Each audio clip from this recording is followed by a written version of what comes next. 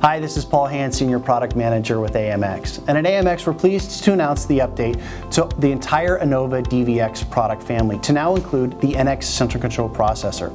With the update comes with it several key capabilities, such as support for IPv6 and wired 802.1x. Now the DVX versions will also include capabilities which exist on the NX central control processors, such as dual network interface, uh, with the addition of an ICS LAN port on the DVXs.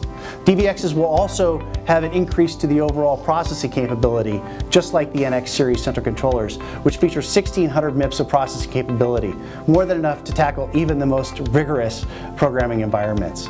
Now from a programming perspective, just like the NX series central controllers, the updates have been designed to allow for backwards compatibility for AMX code that was originally written for NI central controllers.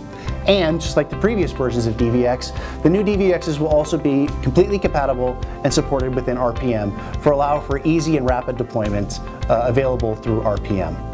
To find out more about the new Enova DVXs with NX Central Control processors, go to amx.com. Thank you so much.